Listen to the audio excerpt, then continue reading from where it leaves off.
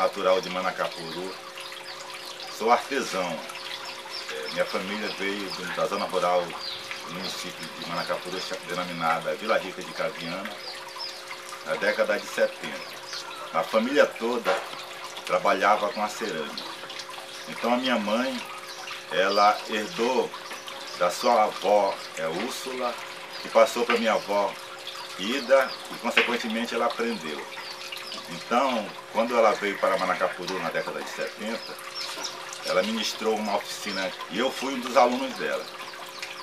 Então, desde uma confecção de, de utilitário, né? Panela, é, pilhas, moringa, fogareiro. E, e é um trabalho prazeroso, né? Porque é uma herança familiar que a gente traz é, como segmento desse aprendizado.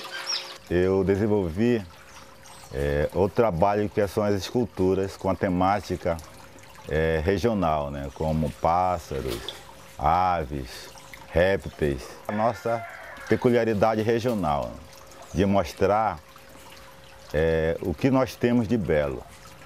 E isso também reforça a questão da preservação ambiental, de você zelar pelas coisas da terra para que não se perca ao longo do tempo.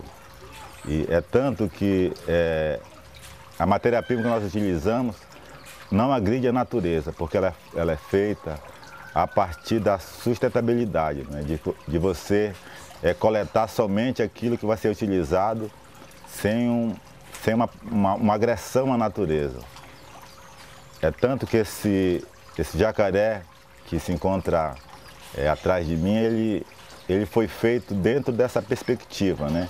De mostrar o que nós temos é, na nossa região, né?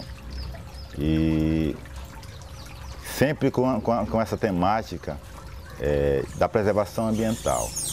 Ela, ela, é uma escultura que é feita é, mostrando como é que o jacaré é na natureza, né? Ele é um predador. Então eu quis mostrar com essa escultura que a natureza, ela mesma, com sua, com sua peculiaridade, ela, ela conserva, né? Ela só consome aquilo que vai, que vai servir para o seu alimento.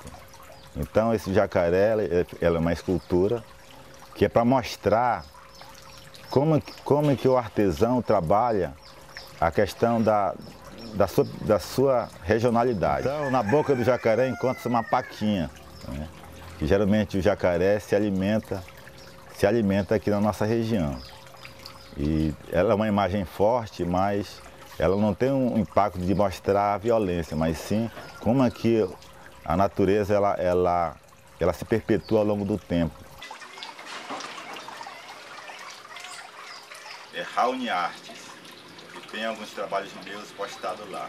Se alguém se interessar, é, fique à vontade de prestigiar.